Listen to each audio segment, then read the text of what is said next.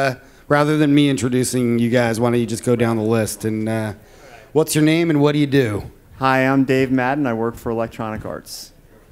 I need a little more than that. Oh, sorry. It's a big company. I'm in the game. Uh, I head up a group at Electronic Arts that works with brands to activate with us against our gamers in and around our games, cross promotions, and anything to do with ad tech uh, across console, mobile, PC. So basically helping brands uh, build relationships with our consumers in a way that's great for the gamers, most importantly. Thank you. That was quite thorough. Volkan. Hey guys, I'm Volkan uh, from Gree, um, and I know that, you know Damon is going to ask what I do. Um, so I'm heading the business intelligence team at Gree. Uh, so we want to make sure we kind of like maximize the LTV for of all, all of our players. Uh, on top of that, um, something that I started as a sidekick, I'm also leading all the indirect uh, monetization efforts at Gree, whether it's video ads, offer walls, it, all of them basically go through me. And the final functionalities I do run crazy experiments on our sunsetting titles. Um, so, you know, if you have time, I can talk about that a little bit more as well. We'll ask about that later. All right. Oh, Baudouin. So I'm Baudouin, I'm from Gameloft. Um, so I'm heading our um, publishing activities in North America. So sales and marketing for Gameloft. All right, cool. Uh, thank you very much, gentlemen. Uh, so I want to get right into strategy. Uh, there's the age-old debate of, you know, all the studios, and I'm sure Dave, you you experience this. I know you do. That the studios are a little bit reluctant to integrate ad technology or ads in their games, but the business guys are always trying to push it from a revenue standpoint. So I'd love each of you to just give a high-level overview of how your company defines their ad monetization strategy. How important is it? You know, you talk about how it compares to other revenue streams, et cetera. How important is ad monetization to your company? Sure, I'd be happy to start. So, so advertising as a term in gaming sometimes can be considered a dirty word to developers. The reality is that brands can play a really impactful role in helping gamers get deeper into gameplay and enjoy their experience. And, and in the console space, as well as paid console space where someone's spending $65 or $60 to go out and buy a new console game, there's actually an opportunity for brands to interact there. Some of it's very native, very custom, you know, integrating a brand like Gatorade into Madden, where the experience mirrors what you see on TV. But I think for the sake of today's conversation, what we're talking about, native ads, that something that could be scalable for the industry, that gets real liftoff, that drives real monetization for developers. And we talk about casual gaming, we're really talking about the freemium business model where less than 5% of your users are really spending money, and there's a 95% opportunity to help your consumers, your players get deeper into the content. Forget about making money for a second. If, if your business model is freemium and only 5% of your users are spending money with you, that means 95% of your players aren't not necessarily benefiting from all the hard work your developers are doing to make wonderful content. So the opportunity for brands to interlope into the experience is to help consumers really get deeper and further into the content. And when done right, and this is why gaming is such a, a, a, wonderful opportunity for advertising. When done right, brands can actually help consumers enjoy the game, get deeper into it, and that sense, the relationship between the player and the advertiser actually is one of consumer consent and control. And when that happens, the results are off, off the charts. So to answer your question, developers are coming around because they know that the minority of their users are spending money and they know there's an opportunity there, but really to make this space lift off for everybody in the room and for the Procters and Gambles and McDonald's and Unilevers of the world. It's got to be great for the consumer. They have to really want to engage with the brand, and when they do, those brands get outsized results, and that's the kind of stuff that we're starting to see across all game platforms when you let that consumer be in control of their experience. And so, from a developer standpoint, I think it's the, the model, because of the growth of freemium, the growth of uh, tablet and smartphone gaming, you're looking at a model that's moving really quickly in combination with the, what we're seeing in the, uh, just out of Madison Avenue, where brands are starting to come into mobile. Facebook had a huge quarter, last quarter, and just the IAB uh, numbers they've been putting out showing mobile uh, doubling year over year. It's, it's, it's, a, it's a good time for developers to take, uh, take on advertising technology. Cool. We're going to talk about the advertiser's perspective in a minute, but let's continue. I'd love to hear from Green Gameloft about your ad monetization strategy. How important is it to Gree? Um, I think there are like um, different aspects you need to consider when you are integrating an ad into your game. Um, I will say if you have um, how casual the game on one axis, like super casual game, mid-core game, hardcore game, and in the other case you have like the um, alternative monetization solutions. What you will see is um, the people who are um, pretty much engaged, and that is usually the case for hardcore gamers they will probably do not want to um, diminish their experience in the game. You probably wanna, don't want to take them away from, the, from the, uh, their experience. Um, I, I, imagine like um, if you want to do uh, mid-core, hardcore uh, video ads or offer walls or anything like that, uh, we usually for Gree we do like opt-in solutions. Like users will say, okay, I want to go there. I want actually want to watch this ad. In, in, turn, in return, maybe I'm going to get incentivized. I'm going to get like a free jam, some hard currency for my time. Um, that's, that's one way to do it. Like without, you know, as I mentioned, like user experience is super important for us. Uh, because of that, our general strategy is to do opt-in so, uh, opt-in solutions. Um, but I agree with Dave. Actually, this is actually a super exciting era uh, in terms of like how deeply you can integrate ads or experience into your game. Um, just to give you an example, um, we have been working on a, a, project where we want to do some branded LTQ with, uh, with a studio, like movie studio that I cannot say. But the idea was to come up with this you know, branded limited time quest where people are getting excited about the movie, collecting like items about that movie, and if they complete the quest at the end, we opt them to watch the trailer and maybe give a discount on tickets. So there are like solutions like that where you can kind of like leverage the, the brand, um, the theme of the game, and but also there are like cases where you just want to do probably straight kind of like video ads, offer wall ads. Thank you. Gameloft. Yeah, so just to put some context, so at Gameloft we are uh, a mobile-only company. So uh, we do games only on um, smartphone and tablets. And, um, and advertising uh, is a very important topic for us today. So uh, at least that's something that we're looking at very closely. Um, today, most of our revenue is coming from, a vast majority of, the, our revenue is coming from in-app purchase. Um, so that's one point. So for us, advertising is something that we are starting uh, to work with, but we want really to be focused on um, the quality of, of our games. Um, and what has changed is that it really the, the number of people that we can reach uh, with our games. Uh, it's massive audience. That was not the case like a few years ago. Now we have uh, 150 million monthly active users. So we really have a massive reach, and a lot of them are not paying. So really the question is, yes, what, what do we do with, uh, with these users? Um, and it really, really depends on the game. So we've just launched today Modern Combat 5. Um, so our, um, our last edition of our Modern Combat franchise. There's no ads, and I can tell you that we'll never have, we'll never, you'll never see ads in Modern Combat because we think that it's not a good sp space for ads. We think that uh, it doesn't add to the experience. It's a very immersive experience. People are very engaged in the game. Um, so it's an ad-free uh, game. Um, but we also launched today a game um, that's called uh, Dizzy Fruits. So you can uh, check it out. And it's, uh, it's purely ad-based. So we also launched, uh, was it, it, was last week, a Ninja Up. It's a purely ad-based uh, game. But when we say ad-based, it's um, it, it's ad-based because there's advertising in, inside, or for our own games, or for third parties. Um, and um, the volumes are such, the audience is such, that uh, it makes sense to have, uh, to, to, to have this approach. And that when you say ad based, there's no IAP. It's just all. there's no IP. It's a free game, uh, and yeah, no IAP at all. How's it going so far?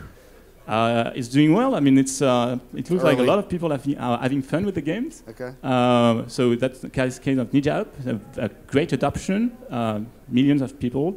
Uh, Dizzy Fruit, it's a bit early because it was launched today only. Uh, but uh, yeah, All right, so that's actually a good segue. Maybe Volkan, you can talk a little bit about this, but how do you decide which ad products to um, integrate into your games? So, Baudouin just talked about, and maybe you can answer as well. But you know, Yeah, okay, uh, just quickly. Um, so that was a very big debate, debate internally because there are many ad, uh, many ad networks, many SDKs. Integrating an SDK, it's always complex, and then when you have many SDKs, you multiply the risk to have problems. And so we took a completely different, a completely different approach at Gameloft. So we're, pre- I think, maybe one of the only publishers to do that. Is we developed our own ad servers. So we have we have our own platform and our own ad units, um, and that's the way we we're going now. how do you figure it all out, business intelligence guy? Yeah, so my background is in big data. Um, my when I was trying to get my PhD, like I was trying to marry machine learning with quantum chemistry. By the way, which has nothing to do with games, but that kind of like background actually helps me to uh, cut through the, the most of the talks and focus on numbers. So what I want to do here is like talk about both on the quantitative side and the qualitative side. What are the things that we probably you know want to take a look at? Um, I think on the quantitative side, obviously, whenever you know the advertisers approach like the publishers like us, the first numbers they throw at is like eCPM, CPCV, you know, CTR rates, CVR rates, fill rates. Obviously, these are like factors that are quite important, right? And if you are integrating like a brand new, um, you know, ad solution into like an into a new game, um, you can kind of like figure out, given the DAU and the volume, what kind of like uh, additional inc- incremental revenue you can make. Um, so that's I think like most like the quantitative side. Um, the uh, the CEO of Rocky was mentioning like um targeting in terms of like age, gender, um, basically demographics. I think that's that's a nice addition to have. The more that I know about my player, uh, the better it is. Whether it's you're on the publishing side or the advertiser side, and we're probably going to talk about more about like what kind of advertising data we need. Uh, but again, like the capability of the company, like what kind of data they can provide us in return through their APIs, whether it's like aggregated level, like player level, how can I use that data to en- enhance the experience? So those are on the quantitative side. On the uh, qualitative side, um, uh, um, as um, as we, as we have already kind of like mentioned, like the integrating SDK is usually like a problem. Like ease of integration is important. Like if someone tells you that it's going to take like a few hours, you can imagine it's going to take a day. If they say it's going to take like a few days, it's probably going to take a week to do the integration. And every time there's a new SDK coming up, Google changing their policy, Apple changing their policy, uh, you have to keep up with all these SDKs, right? So if you imagine that you are like a big studio like us where you have 20, 30 titles and you have to deal with all those SDKs separately every time there's a change, it's a hassle. Um, so that's one thing, like how are how good they are with their SDKs, how good they are with customer support, especially on the technical side. If I run into a problem today, can I get a ping, you know, to Damon right away and you know, hey, we, we are in problem with like supersonic, you know, SDK. Can you guys help us out? Never. Yeah, exactly. Uh, so that's important uh, on the qualitative side. Um, th- there are obviously other factors like the customization. Can I kind of like uh, change the way the players uh, interacting with the with the interface? Does it have some gray logo, or does it kind of like this? Uh, does it feel like the piece of a game, or does it completely look kind of like arbitrary to the game? Right. The, that's I think also important. Like customization is important. Um, and um, th- there are kind of like other factors, I guess, um, that I'm going to talk about later. But I think these are like the most important ones that, that we that we consider. Great. Dave, you guys are seemingly video heavy or focused, but why video or why any other product? How do you guys deal with that question?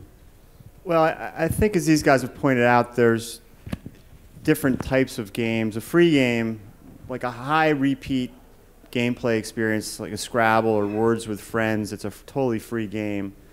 It's going to, by definition, have a different advertising experience than a, than a, a freemium game that may be very deep with gameplay and, and not have a lot of uh, refreshes or levels to go through. And so you have to, you know, what we tend to do is leave it up to every individual game team to decide where and when to have an ad displayed in a game. But you also have to take into account that the gaming market is completely global, yet the ad market varies dramatically around the globe. So in North America, it's much more of a modern media market. The UK and Australia and New Zealand and largely English-speaking markets, some of the Western Europe, markets are increasingly, increasingly sophisticated in using video as an asset. But in general around the world, the media assets aren't the same in every market. And so you have to have a system that's adaptable and, and contemplates that in North America we might fill the, a lot of the interstitial or uh, engagement units with video, but in other markets it may be a static ad or a flat ad or a banner ad or, or what have you. There's also the notion, you mean, the, I know the topic of this panel was standardization. I, I spent uh, 12 out of the last 15 years on the board of directors of the IAB, the Internet Advertising Bureau, and that was the, the sort of the industry trade body that helped usher in uh, a marketplace that's now bigger than television, and internet advertising. And the only way it got to that point was by creating some basic standards that advertisers could understand and build plans against on an efficient basis. And so uh, it's not to say that you take the creativity out of the medium, especially in gaming. The last thing you want to do is, is box developers in. But the, the actual, you know, the delivery mechanism for the asset, whether that's a, a size or, or a spec, um, regardless of the container or the way it's presented to the user, advertisers need to have standardization in order to, for the business to scale the way that Facebook, for example, is scaling right now. They've got a standard ad size that they can sell to brands, whether it's a, a, a video or a, a, billboard or anything of that matter, we'll have to get there. And frankly, those units are already decided. The video sizes are already decided. So it's more about, you know, I think the creativity comes in around what the mechanism is and how a game implements it. And that can vary dramatically. But the assets need to be standardized at some level if you want to crack the code and pull dollars out of television and out of print, and that's exactly what's happening right now. The challenge is for gaming is it's a much more complicated medium than putting a video inside of a YouTube environment, right? A video in a video environment is very easy to do. A video in a gaming environment where you've got the nuances of the business model and how the consumer is feeling about a, a mid-core hardcore game versus a casual game and you really need to leave, you need to have flexibility in the system, but leave it up to the game developers to decide what's best and then allow them to look at the analytics and the numbers as they come in. And what I've seen in every single case is once the numbers start to roll in and they're good, the game developers start to get really proactive about, okay, what's a better way to do this to, to expose the user in a more meaningful manner and maybe drive the, the overall, overall revenue up. But I think the most important thing is it's in no one's interest to to uh, lather games with advertising or interrupt the users in a way that's uh, disruptive. And it doesn't work for the advertisers ultimately if they're not direct response advertisers. The gaming space has been mostly direct response advertising, other games, advertising in games, which is counterintuitive. But if, well, there's a lot of young people compared to me in the audience here, but, but when ESPN or cable TV started, anybody remember what the first decade of ESPN? Okay, we got a couple hands. Don't, don't be embarrassed. You can raise your hand. It was Chia Pet ads. It was it was it was like the Chia Pet and the and the Pet Rock and it was like it was direct response.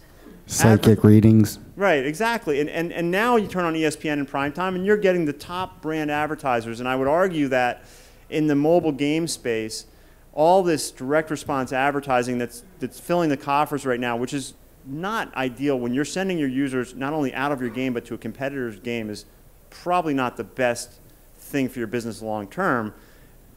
If we get the model right and make it easy for brands to, to activate here, the results are going to be better than any other medium. Gamers are more engaged.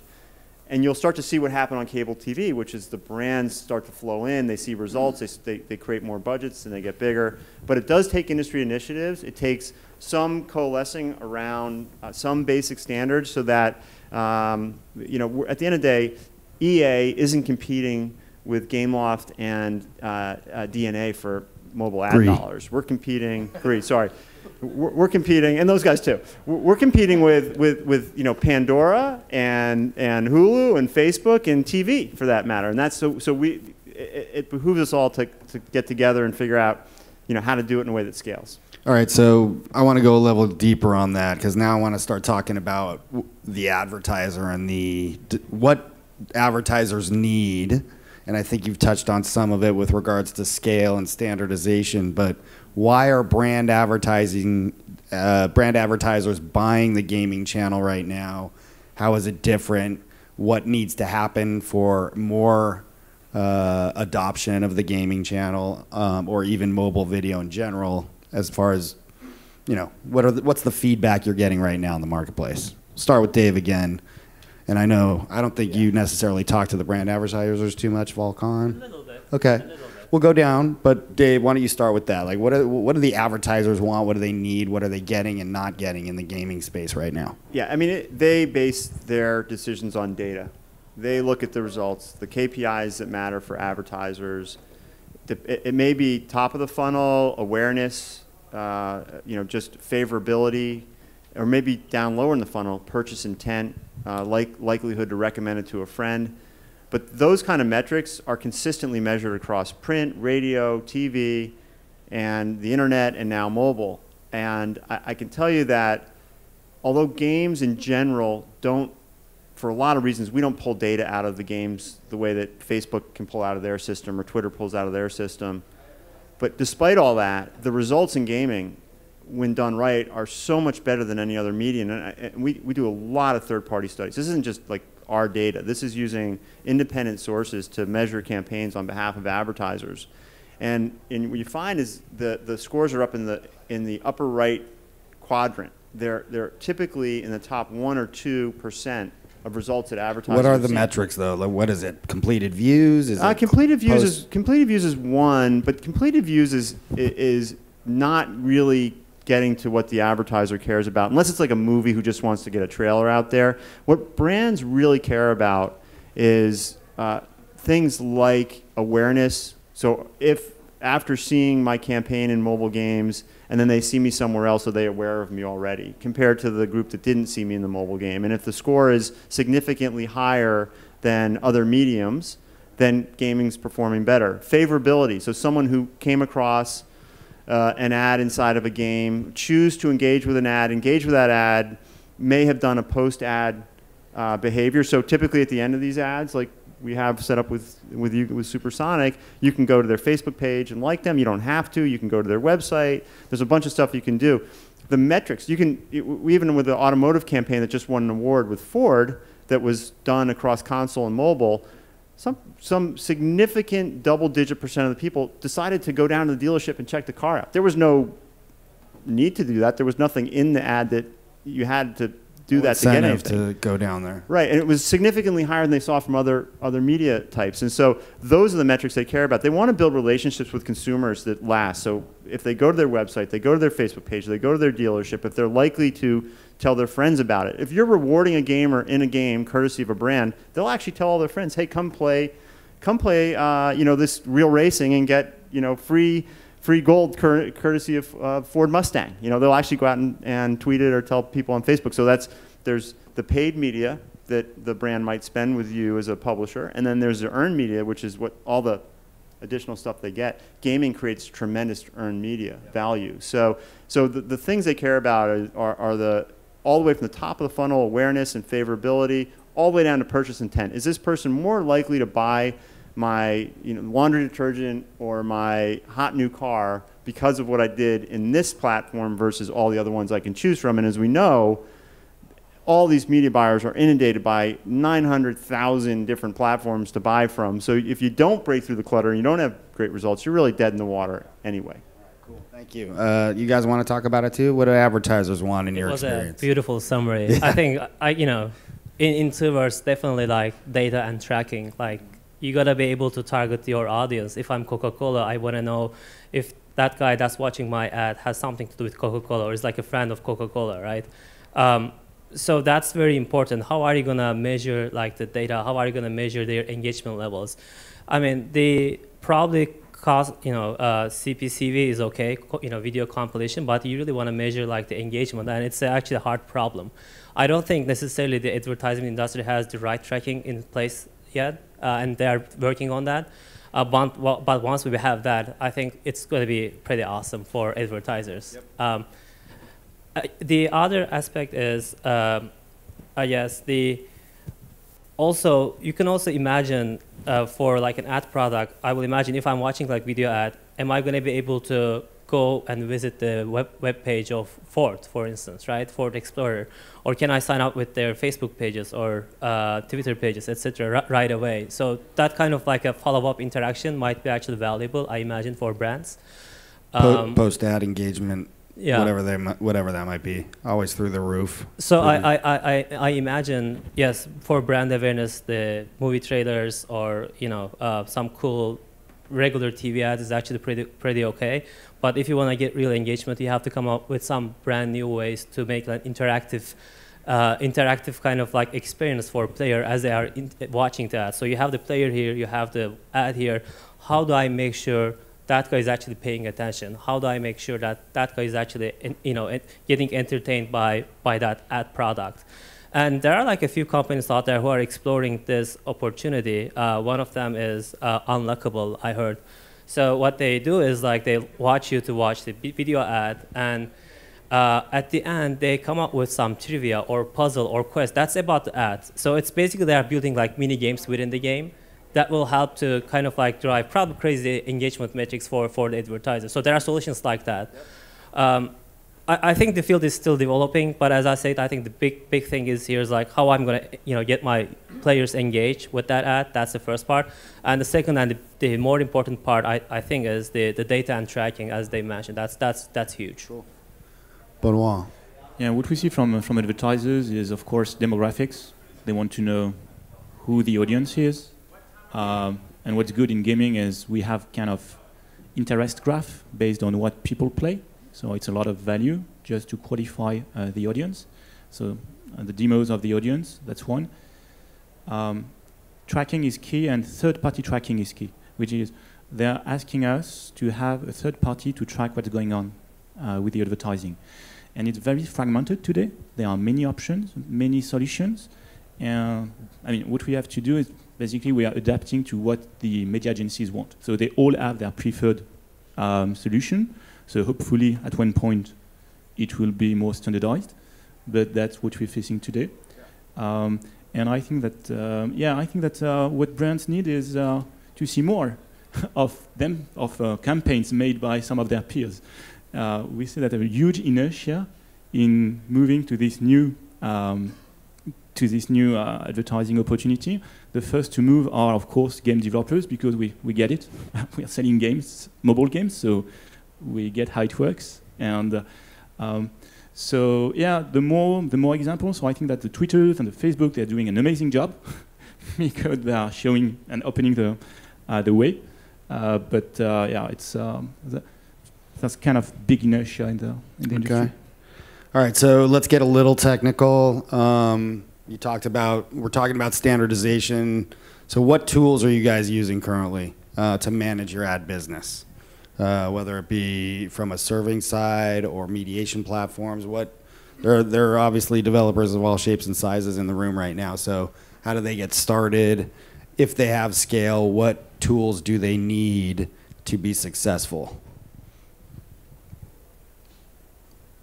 Don't all raise your hand at once. Uh, so yeah, so, yeah. So I, I, just said a few few words uh, about that uh, previously. So we decided to go uh, with our own ad server for some reason I explained.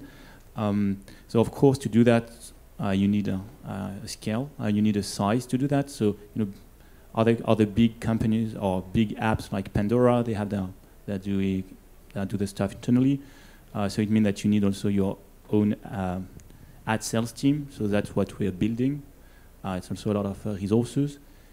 Um, and then, then in terms of tools, we adapt to what the customers want or what the, the advertisers want. So in terms of tracking, uh, in terms of surveys, so ComScore, uh, we have a lot of our a, lot of our um, uh, partners want to have ComScore in the mix. Um, so we pretty much adapt to what they want. Really quickly, let's not assume everyone knows what ComScore is. I mean, I think most there aren't that many that make the ComScore list, but it's basically the tracking of audience or the amount of audience you get on a monthly basis. Yes. And I and, and because all these brands were very used to work with the ComScore on on the internet, so they pretty much want to just replicate uh, what they've been doing uh, on the internet in the mobile space. What if you don't have a direct ad sales team, Volkan? So uh, what we do is uh, obviously for different games we have different names needs and looking at the uh, supply and the demand curve. Uh, for instance, we have decided to use uh, mediation in some of our products.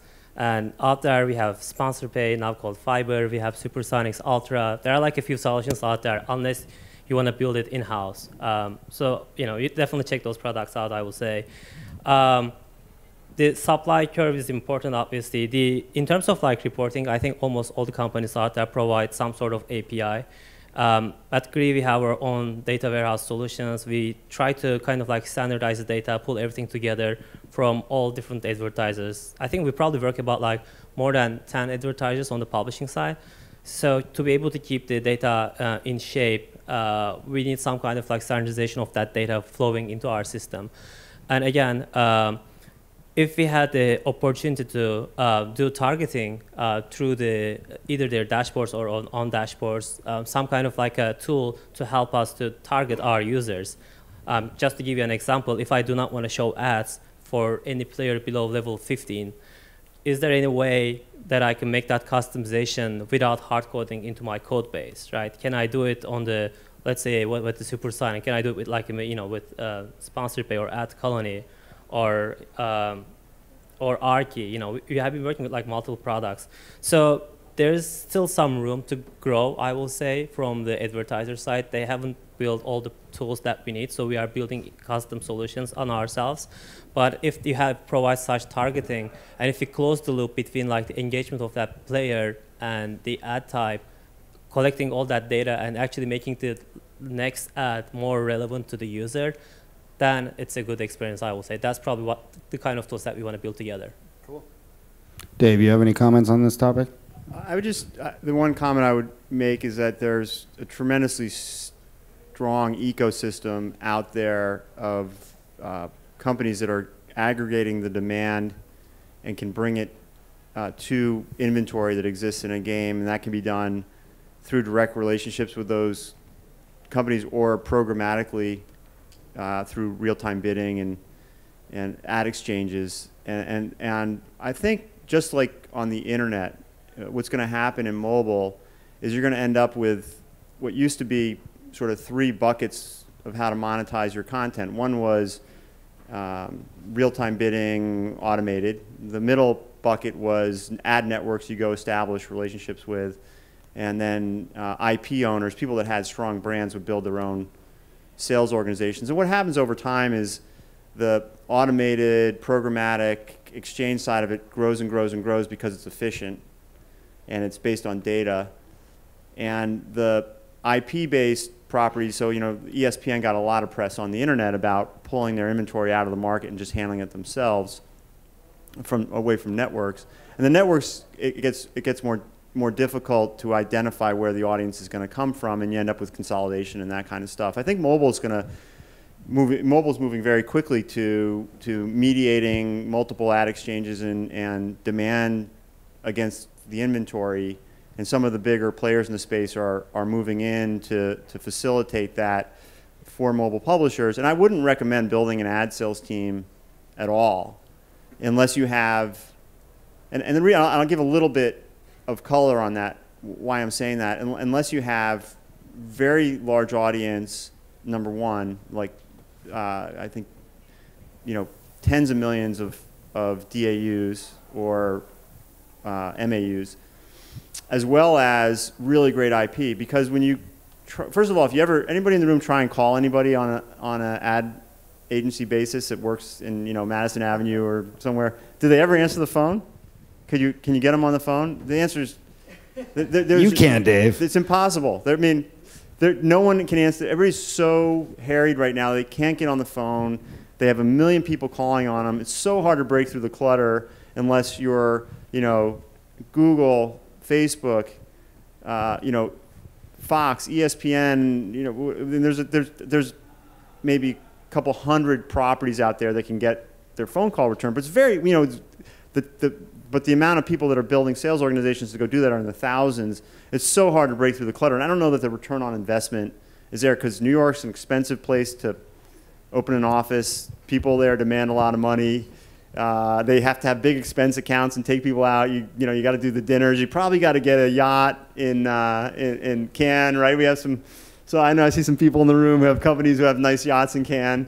You know, like to get a yacht in Cannes is a couple million dollars. If you don't have a yacht in Cannes, you're really not in the business, right? And so, so I mean, that's that's kind of where you're, you know, you're kind of getting into that. That's where the money's going. It's going to a select group of companies that have IP and that have, uh, you know, that can make the investment to support those businesses. And it goes to big franchises and big events like the Academy Awards and the Super Bowl and stuff like that.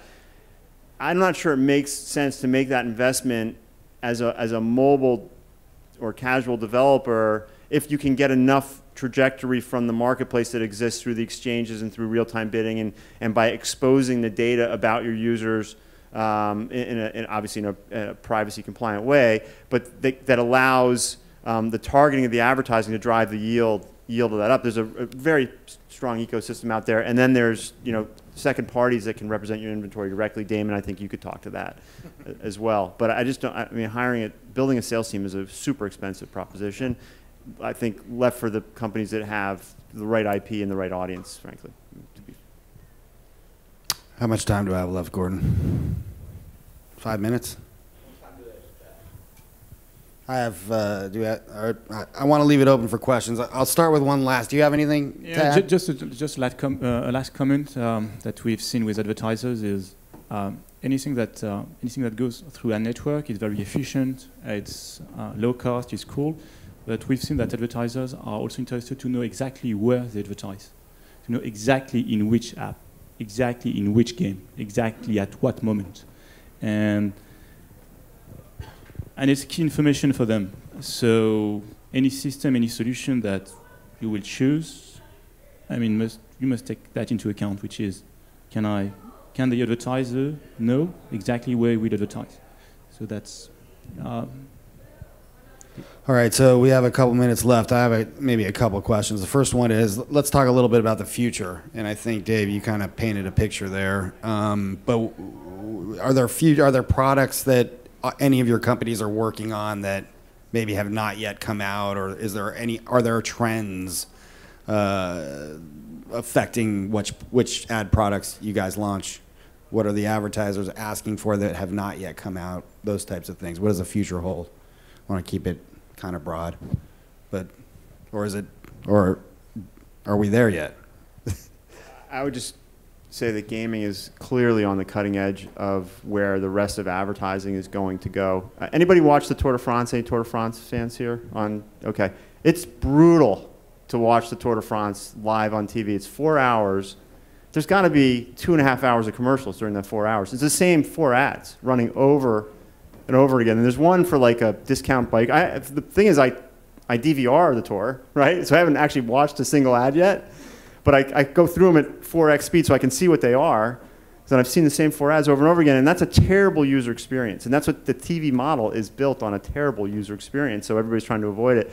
Gaming is kind of ushering in this notion of user consent and control, which you see on Hulu with the ad selector, you see on YouTube. TrueView is a great, great model. If you don't like the ad after five seconds, you can skip it. That's consumers feel great about that. Well, we're taking it one step further in gaming and saying don't even see an ad unless you choose to see an ad. And then when you do, I think the onus is on us to make those ads enjoyable, rewarding, and fun. But that's, that's a radical, radical change in a, in, a, in a world that for 100 years has been all about shoving something in someone's face so they can't avoid it. You're reading a magazine, the ad is there. You listen to the radio, it shows up. They all, all the news stations run the ad at the exact same time on radio so you can't avoid the ad, yeah. right? But gaming, we're saying, no, no, we're saying, hey, consumer, you're in control. You choose if you want to engage in that. If you don't, move on with your life. But if you do, you're going to be feel great about. it. The value exchange is there. You're going to feel really good about it. And every survey we see, it's in the high 90s, 97, 98, 99% of the users say, that was awesome. I want more of it. What other ad medium gets that kind of response? It's just crazy. And so this is the future. The people just don't know that yet. We're, we're, we're on the cutting edge. I like that answer. Volkan, what do you have to say about the future? Okay, as a gamer, um, I agree with what they said. Um, as a gamer, I think the big question we want to ask is like, why do I play games to start with? If you want to build like an awesome product, that's the first question you want to answer.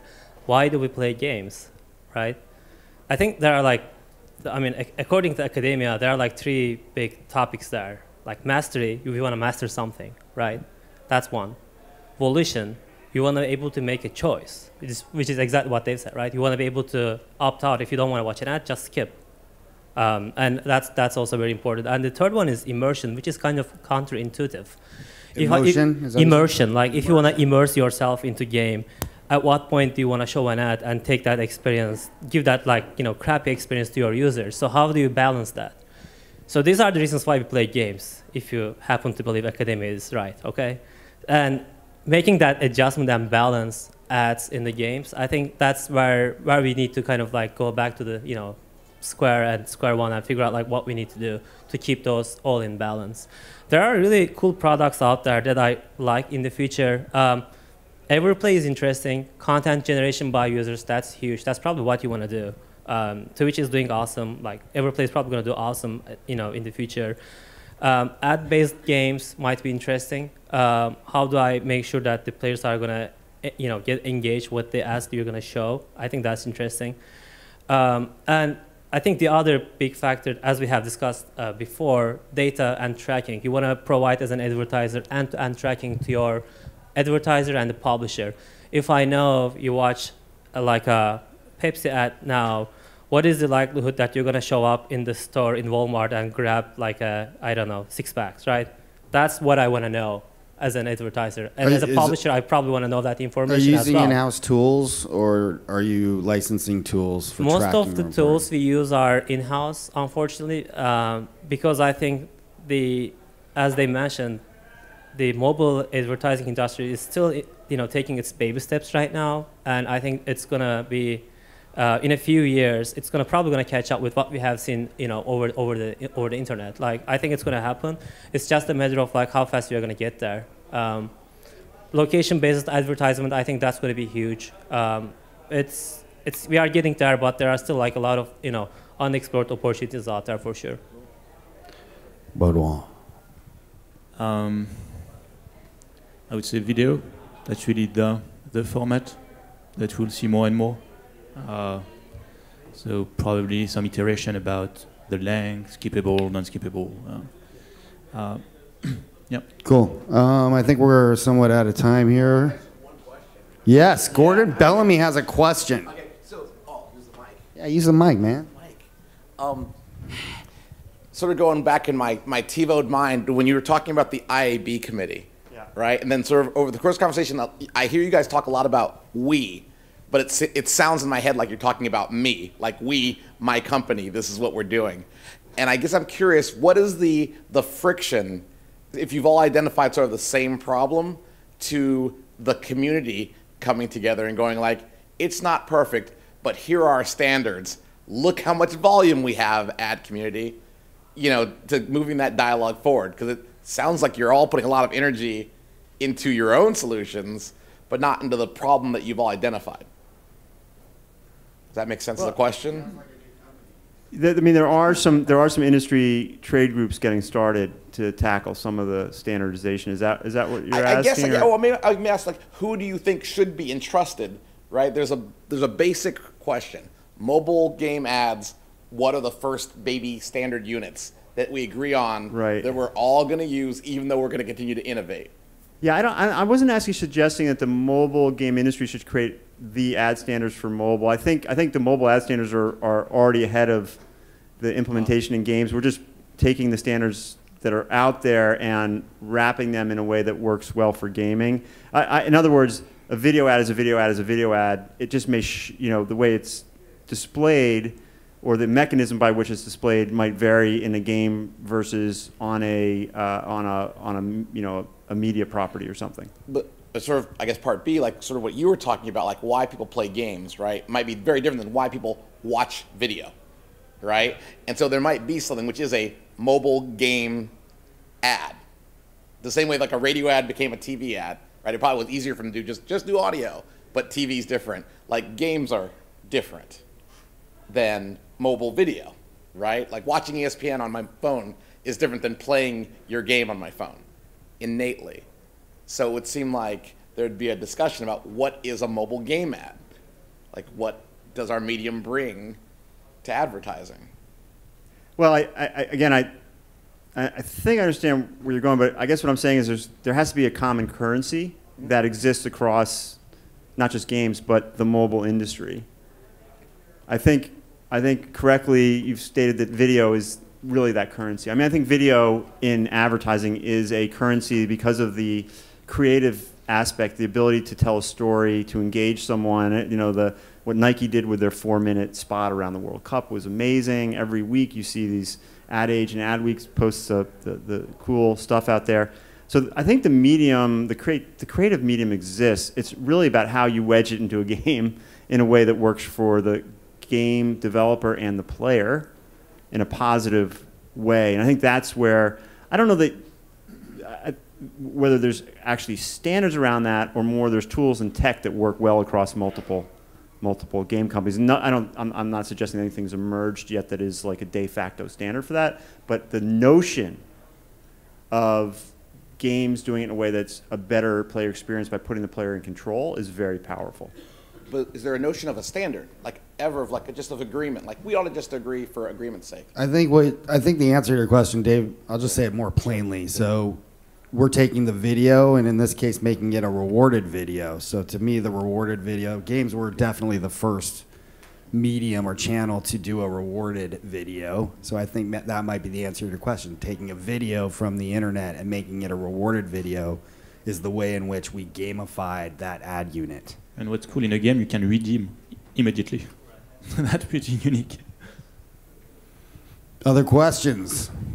Um, yeah, Brian Roth with Fuse Powered. Um, I'm curious what the for a or innovative ad unit or a, a more native integration, if you will, what sort of a minimum dollar figure you need to hear from an agency or a brand, and then I'm also curious who internally at your companies, I guess Dave, specific to you, um, to your comment of not hiring a sales team, kind of where who within your organization is the conversation taking place about innovative ad units um, within your, your mobile games? maybe not hiring a sales team. But I think if you have games that are interesting to brands, you still might have to have someone who's sort of a biz dev role that's interacting between your developer developer team and the advertiser and the ad agency because you really don't want to have advertisers talking directly to a team that's focused on building the best game they can. That you definitely need that buffer and that that uh, capability. That's I, I think um, uh, the native ad type is um, maybe different than a custom ad. When you when you start programming into the code base a brand, um, that's that's a much more complicated relationship, and it, the game has to be right. The brand it's almost like a needle in a haystack type scenario. It works really well in sports where you've got official league partners who are already doing stuff on TV and they want to mirror it in the gameplay experience. When you when you get to um, some more casual games, you can do some really cool stuff with uh, you know, fun, energetic, casual games where it makes sense to integrate a brand in. Those are really business development deals. The, the standardization of media through an SDK into a game that works across dozens or hundreds or thousands of games in the same similar fashion is what I'm suggesting then can be run much more automated and programmatically, and you don't necessarily need to build out a huge sales team to do it unless you have IP that's so amazing that brands just have to talk to you directly because they need to be in that IP and that's where you, you know if you do the regression analysis. Is it worth the expense of building that team out? Am I going to bring enough revenue in, uh, and does it make sense for everybody? But in general, um, I think the foundation for the industry needs to be built on just some standardized media tech and media that allows for revenue to flow, just flow right in. All right, that's it. Thanks a lot. Appreciate it.